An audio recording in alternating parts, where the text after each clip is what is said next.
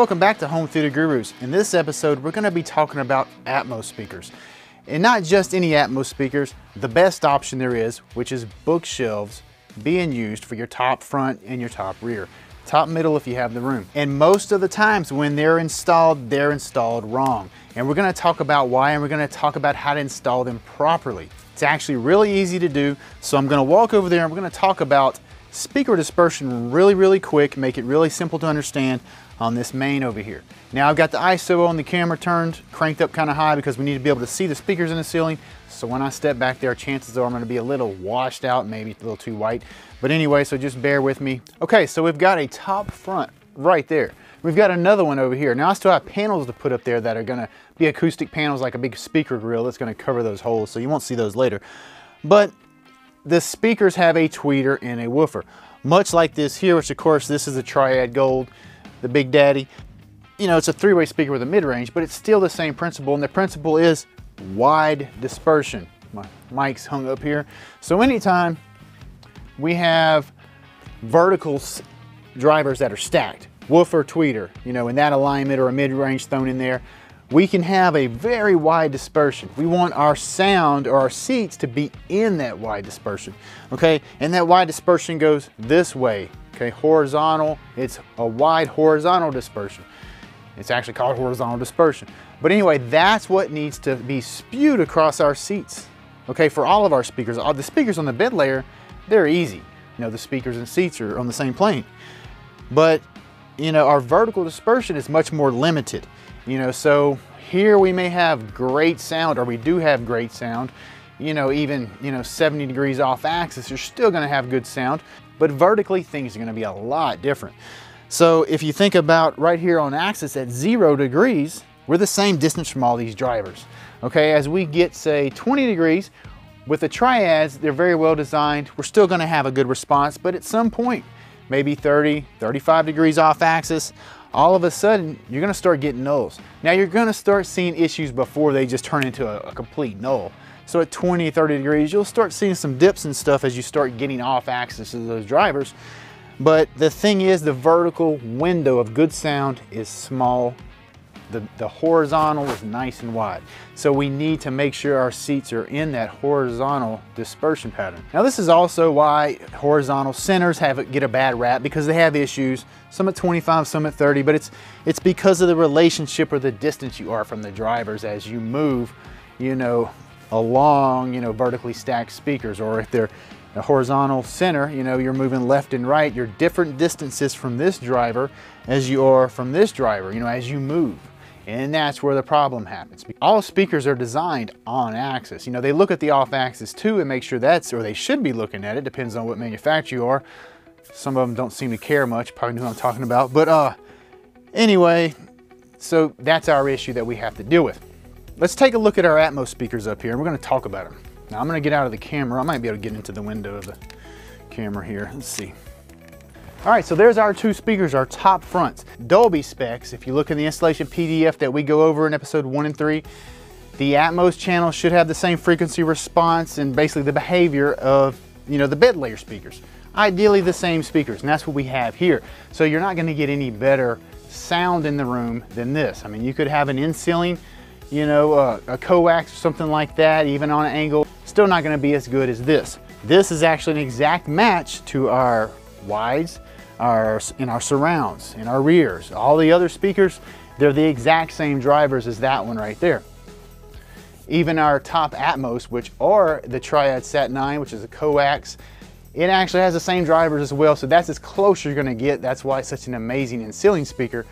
But uh, for top front and top rear, that's as good as you're gonna get, no matter what line you have. If you can pull that off, you know, especially hidden like these are gonna be hidden, that's the way to go but we need to get the wide horizontal dispersion to spew across the seating area.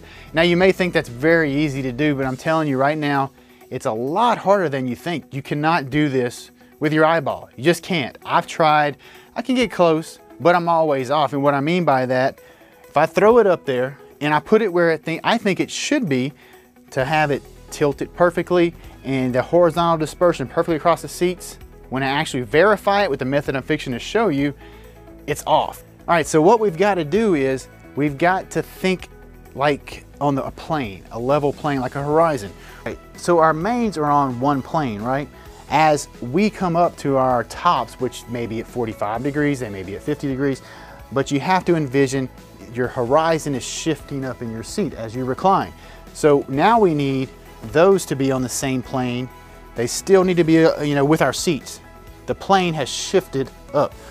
Now you're gonna have those guys that are gonna be in the camp, well, you know, they're just Atmos, that any old thing you throw up there, as long as you get sound, you're doing good. You know, if you've seen the video on DSU and upmixing, you know how active those speakers are when you're using upmixing.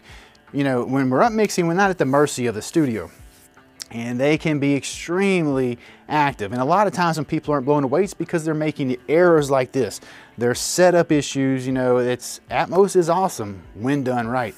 So how do you set those up right? You know, I've already said I can't even really do it by eye. I can get down here at head level and I can try to pretend, you know, get my horizon and line up perfectly to get, you know, the uh, horizontal dispersion across the seats. Well, the only way I've found is with a laser level. Okay, I've got this baby here now. It's dirty because I'm rebuilding the house. So, I mean, it's, it's been through it. But this right here works wonders and is amazingly easy to set those speakers up. And I'm telling you, they're not gonna be anywhere near where you think they will. If you try to eyeball it, then you come back behind yourself with this, you're not gonna be close. So I've already adjusted these and I'm, gonna kind of dim the lights, I guess. Hopefully we can, y'all can see this. I only have one seat in here right now because the carpet was supposed to be changed out this week yeah, because the carpet sucks, I'm horrible at choosing carpet. So we have a replacement and of course, it was the wrong carpet.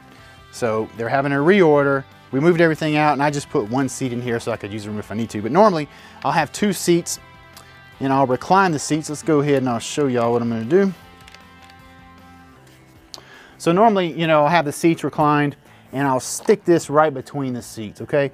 And then I'll angle it up to my speakers.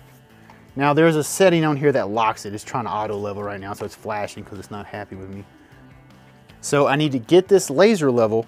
I'll push it into the seat cushions or whatever I have to do to kind of hold it into the seat so I can get up there and work. And you've got to adjust it so it's going from one speaker to the other and it gives you a parallel line. And then you'll line those speakers up like at the bottom of the cabinet or you know that's a, a great thing to use because it's parallel.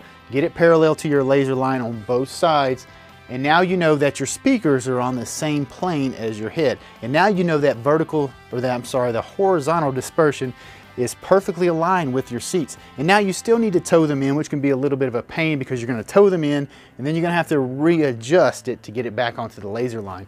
But once you're done, those two speakers are going to be tweaked and set up just as good as your mains are. And so they're not gonna take a back seat. You're gonna get amazing sound just from them. I mean, you could actually listen to two channel from those two speakers and you would have an incredible phantom image, a nice wide sound stage. So you're making sure that every speaker in this room is set up to perfection. So in case you've noticed, yes, I'm wearing the same clothes I was in the last video and actually the video with the seats two, two videos ago. I shot three videos today. I finally had the house to myself. So that's why I'm wearing the same clothes. I did change my hat so y'all wouldn't think I was a total loser, you know, so I, I put a new sock hat on got, you know, so I kind of changed a little bit. If you want to learn more about home theater, don't want to miss any tips, hit that notification bell. First subscribe, then hit the notification bell. Give this video a like. And uh, yeah, leave some uh, comments down there, whatever you want to see next. I've got a big list of stuff I'm going to be doing, you know, now that we're finally getting in the house and we have a place where I can film again. Uh, I'm kind of excited to get that back on the ball, you know, get back on the, get rolling again with the videos. So uh, I've got a compilation of videos I'm gonna be doing. Just if you wanna add to them, let me know. All right guys, that's gonna be it for this one. I'll see y'all next time. And guys, like I said, I'm changing the carpet in case you're not aware. Let me show you this carpet. So this is kind of what it looked like. I thought it was gonna look like, actually I thought it'd be a little darker, but see that pattern? You know, it's kind of a cool pattern. I kind of like it. I suck at choosing carpet, but let's, gonna walk over here. I'm actually gonna put it at the ceiling. I don't wanna scare y'all, but boom. Look at look at that mess. I mean, what a turd bucket. This is it's horrible. This this carpet is I mean, what is that? Is that I'm not even sure that's carpet. Me and a friend of mine were we really think this might be possessed carpet. Tried to get it changed, and of course it came it was the wrong carpet, so maybe there's some voodoo going on and this carpet just doesn't, it wants to be here. We may have to burn the carpet and uh, sacrifice some chickens or something, I don't know.